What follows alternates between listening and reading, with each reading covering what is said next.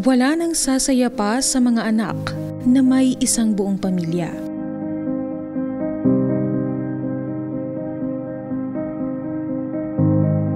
May nanay at tatay na magiging takbuhan sa bawat pagsubok na pagdadaanan nila. At siya ring magtuturo ng kahulugan ng tunay na pagmamahalan. Ngunit kabaliktaran ito ng sinapit ng walong magkakapatid na lumapit kay Idol Rafi. Nung yumao yung kanilang ama, si nanay sumama po sa ibang lalaki. Ang naiwan, itong walong magkakapatid, sila nang bahala sa kanilang sarili. Nag-start pa sa pag-aaral, ngayon ang problema kayo kung paano mo alagaan itong mga kapatid mo. Opo, sir. Nakita ko yung bahay nyo, butas-butas yung kubo-kubo. Eh paano pag umuulan yan? Nababasa kayo. Opo, sir Rocky. Ah, magpapadala ko ng 50,000 paunang tulong ngayon. Mm, Maraming salamat po, Idol. Mayor Lemuel, marami po netizen nag-suggest na bilihan na lang po namin ng lupa at patayo ng bahay. Baka meron po kayong alam dyan. Sir Rapi, yung perang gagamitin pag tayo sa bahay, kayo na, ako na lang sa property maghanap dito. Wow!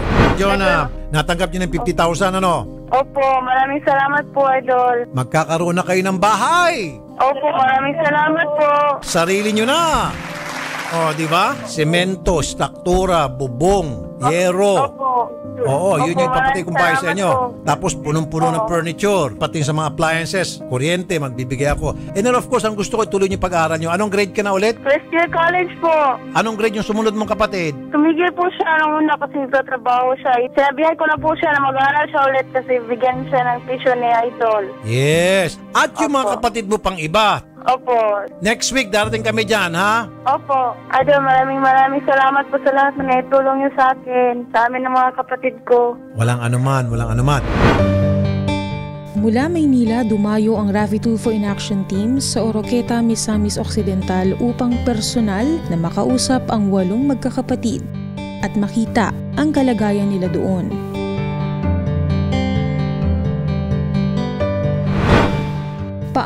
Paano na nga ba ang kanilang buhay ngayon na sila ay ulila na?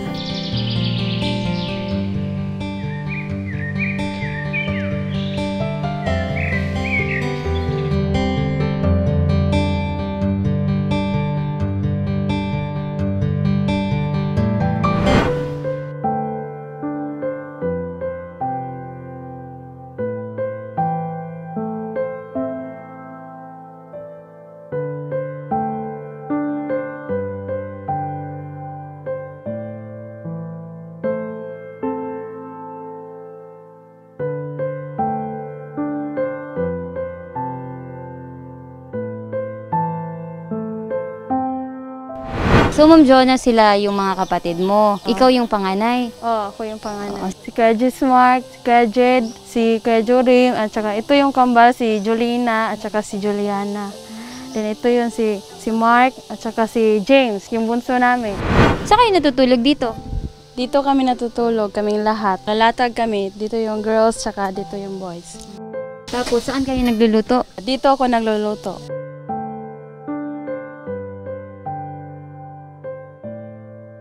Dito kami naghuhugas.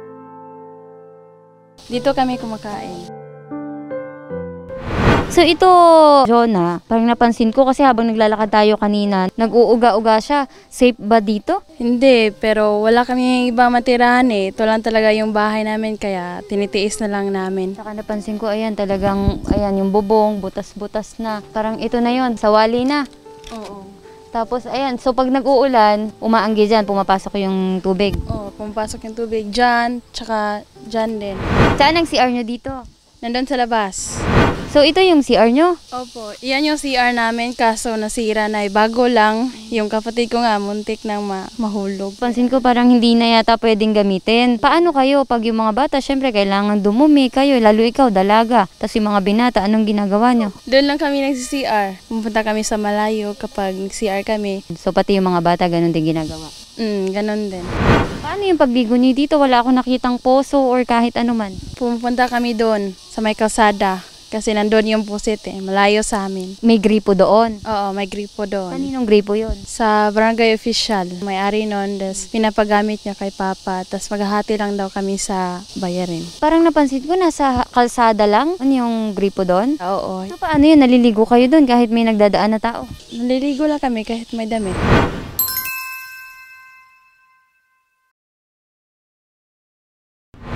So, Ma'am Jonah, paano ba kayo? Dati, noong kumpleto pa kayo, nandyan pa si nanay, nandyan pa si tatay. Masaya naman kami noon kasi si Papa nagtatrabaho siya, si Mama doon siya sa bahay, nalagaan niya kami. Tinutulungan ko siya kasi ako yung panganay. Nagluluto, naglalaba, tinutulungan ko rin siya mag-alaga sa mga kapatid ko. Kahit mahirap lang kami, nakakaraos naman kasi masipag naman yung Papa ko. eh. Kumusta si Mama at saka si Papa bilang magulang sa inyo noon? Okay naman talaga sila, mabait sa magulang. Kaso lang, silang dalawa, may problema kasi sila. So yun, kasi may ibang lalaki si mama. Hindi kami masyadong naalagaan ni mama, kaya ako na lang yung nag-aalaga sa mga kapatid ko. Mga ilang taong ka noon na nagsimula na ng lalaki si Mama? Six years old ako, alam ko na na pag wala si papa, may ibang lalaki pupunta sa bahay. Nalaman ko na, ah, ganito pala si mama. Natatakot ako pag sinumbong ko siya, bububugin siya ni papa, ganun. Marami namang tao nagsasabi sa kanya na, Jo, yung asawa mo may ibang lalaki. Tapos di siya naniniwala kasi gusto niya siya yung nakakakita. Dito na kami nakatira, pinapapunta pa ni mama yung kabit niya rito. Kaya yun, isang araw na nandito yung kabit ni mama, tapos umuwi si papa galing sa trabaho, ayun. Muntik na niyang patayin yung kabit ni mama. Nahuli ni Papa mo yung mama mo na may ibang lalaki. Paano na yung naging sistema ng pagsasama nila? Pag nalalasing si Papa, nag-aaway sila kasi naisip ni Papa yung panglalaki ni Mama. Tapos yung mga kapatid ko matatakot na sila, umiiyak na lang sa gilid kasi yun, nagsisigawan silang dalawa, nag-aaway. Okay naman sila, kahit nagkasala si Mama, pinapatawad pa rin siya ni Papa, ganun.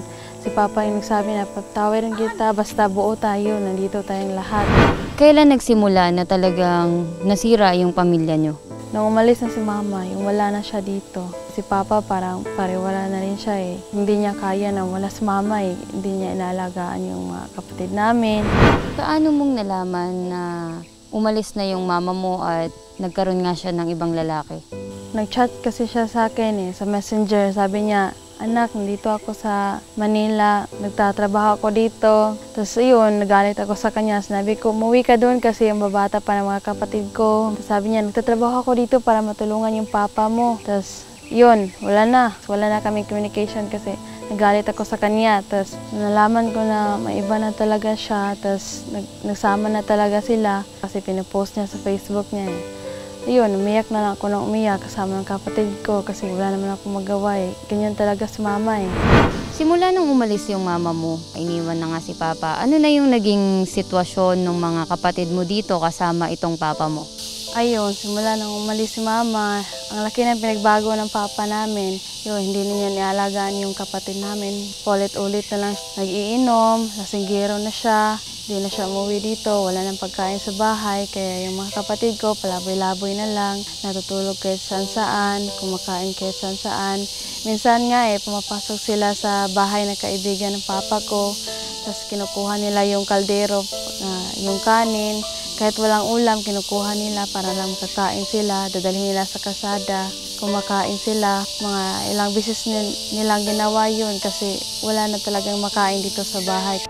Nung nalaman ko na namatay na yung papa ko, umiyak ako kasi mahal na ko yung papa ko eh kasi masipag siya eh.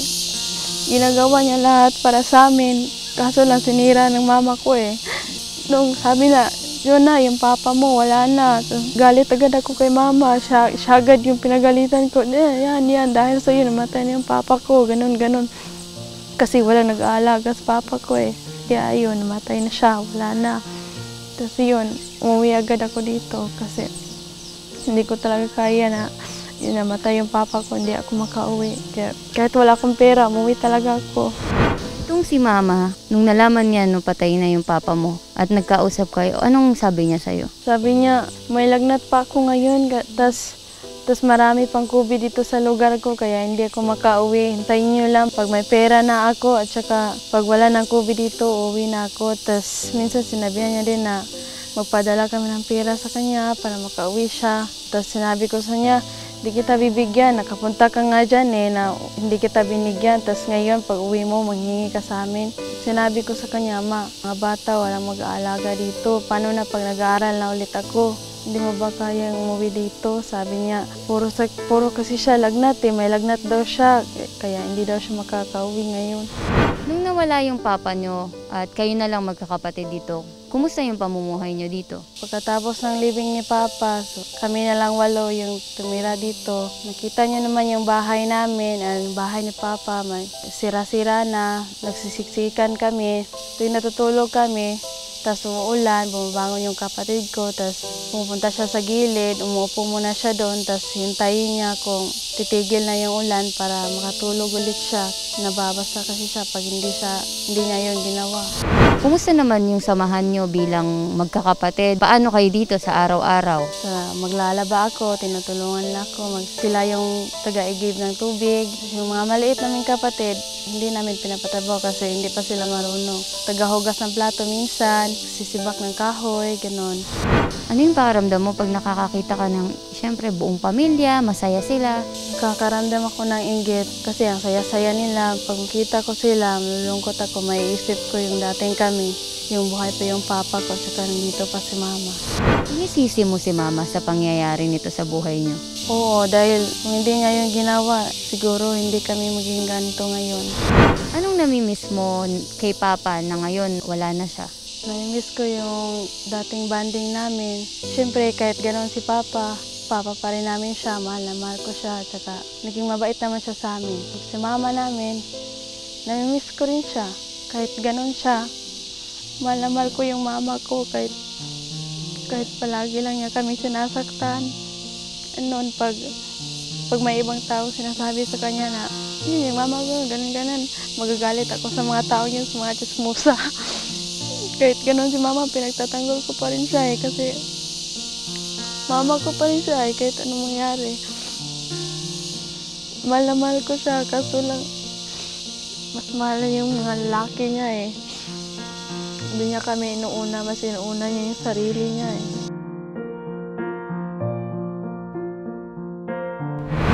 Ano na bilang ate ngayong wala na yung papa mo, ano yung mga ipapangako mo sa kanya para sa mga kapatid mo? alagaan ko yung mga kapatid ko na mabuti para tapos hindi ko sila iwan parehan mama sana maging mabait yung mga kapatid ko. Matapos nakausap kayo ni Sir Rafi, na-receive nyo na ba yung 50,000 na pinadala niya? Opo, nasin na po namin. At malaking tulong po yun sa amin. Pagkuha namin doon, bumili kami ng pagkain, saka binili namin ng mga gamit. Ayun, ang saya-saya ng mga kapatid ko. Yung pinadala ni Idol Rafi, binangko namin just in case of emergency. Jelina, ah, magstorya ka unsa imong papa. Mabait ba si papa? Opo.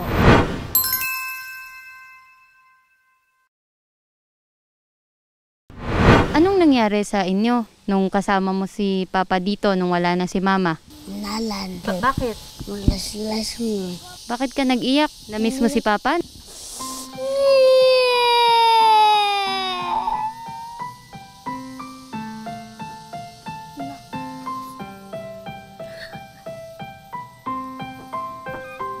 Nung paglibing ni Papa, grabe yung iyak niya eh.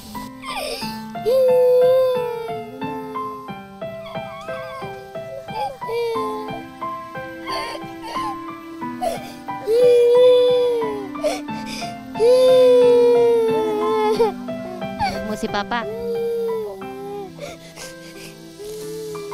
Na-miss mo na siya? Anong gusto mong sabihin kay papa kung naririnig ka niya ngayon? Nasa heaven na siya.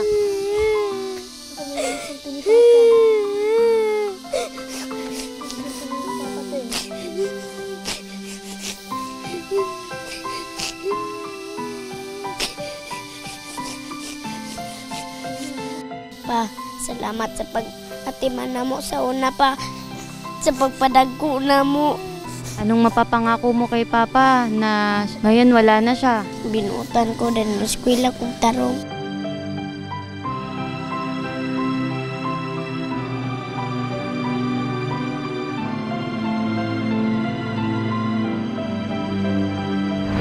mo bang bumalik si mama dito? Opo. Gusto mo din bumalik si mama? Opo. Mahal mo si mama mo?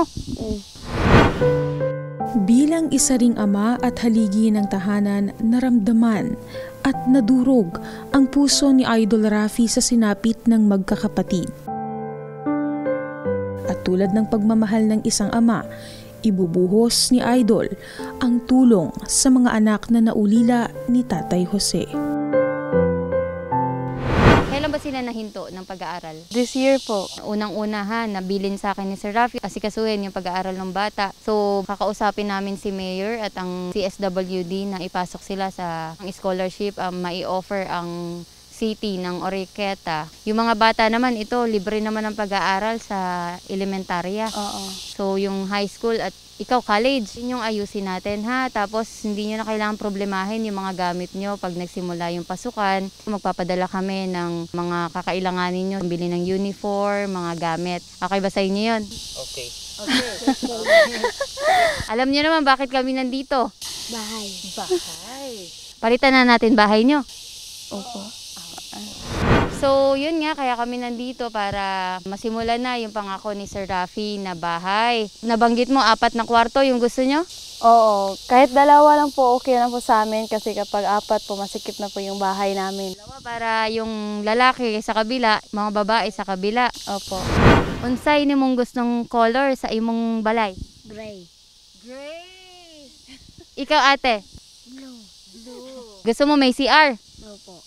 Gusto kang TV? Sabihin natin kay Idol Rafi. Opo. So, Ate Jonah, ngayong araw, umpisa natin yung bahay ha. So, mamimili na kami ng mga materyales para masimulan na yung bahay. Excited ba kayo? Excited! Itong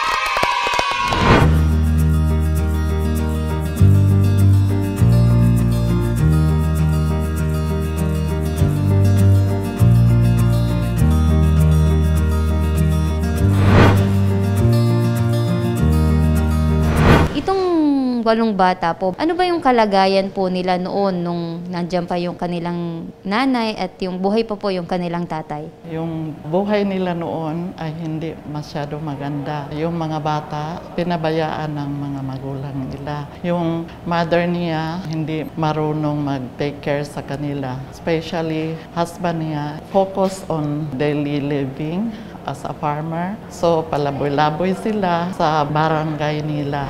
Hindi sila makakain ng three times a day. So, pupunta sila sa paligid para maghanap ng pagkain. Itong si tatay po, ano yung naging trato niya dun sa mga bata nung nawala yung nanay? Sabi niya, hindi lahat ng mga anak niya ay sa kanya. So, pinabayaan niya ang mga bata. Ano yung may offer natin na livelihood program po sa kanila? May livelihood assistance man tayo dito sa, sa city, uh, Sustainable Livelihood Program under the Department of Social Welfare and Development. So, i-recommend namin sila. Nung nagkausap kami ni Chonami, yung eldest child, sabi niya gusto sila na magkaroon ng isang sari-sari store paninda ng bigas, mga agricultural products, at saka sa babuyan, ma'am, alagaan sa mga kapatid niya. So Mayor, huling usapan niyo po ni Sir Rafi ay regarding dito sa lupa po na ibibigay dito sa mga bata. Ano na po yung development po dito? Well, uh, probably after a week, nakakita kami ng lupa. Then, uh, as promised, binili namin. Pagkatapos, uh, immediately, yung recipient, diretsa na sa mga beneficiaries po. So, from the uh, landowner, diretso na sa kanila, hindi na dumaan sa amin pagkatapos uh, dinonate namin sa kanila. So, ito po yung patunay yung deed of absolute sale sa portion of land around 100 square meters po. Kumbaga, yung deed of sale is nakapangalan dito sa pangalan ng anak na si Jonah. John Nami, opo. Mayor, nung nakarating po sa inyo itong balita, ano pong unang naging reaksyon nyo dun sa sinapit nitong magkakapatid? Ah, natulungan na ng local government unit yon for one year. No? Although si Idol Rafi went an extra mile sa tulong na pwedeng ibigay ng mga bata. So that's why it triggered yung outpouring of support no sa mga pamilya. Yung tulong naman na ibinibigay ng local government unit, hindi naman talaga sapat eh. Mga resources namin, we have to spread it also. There's only so much for so many in a city like ours. Kung titingnan naman natin yung storya ng buhay nila, it's fair enough na may ganitong kalaking tulong na pwedeng mapaabot natin sa kanila. Ah, Mayor, regarding naman po doon sa pag-aaral po ng mga bata, kasi nabanggit po ni Sir Rafi na willing nga siyang tumulong. Ah, meron po ba tayong dito na scholarship na may offer sa kanila? For college and senior high, pwede naming masuportahan kasi yung local government unit natin may scholarship program. No? So ano po ba yung magiging plano natin doon sa bahay, sir? Bali nagawa tayo based on initial natin, natin na, na, na plano. Uh, umabot po tayo sa around 80 square meters po. So, naglagay tayo ng mga perimeter po. Uh, di natin nilubos-lubos lahat po. Bali, mayroon po siyang toilet and bath, may kitchen, may diner po, at saka may living area din po. Mayroon counting port sa harap. So, yung construction po is halfway po yung uh, dito yung solid, dito yung mga file, mga hollow blocks. So, all the way po, matatapos natin po to around mga 3 to 4 weeks po. Mabilis. Yes po. Planchado na pala, planado Planchado, na. Okay. oo.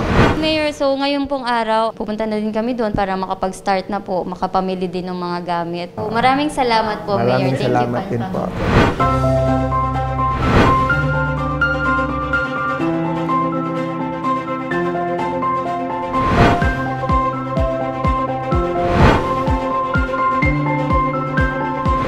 Eto na yung bahay nyo.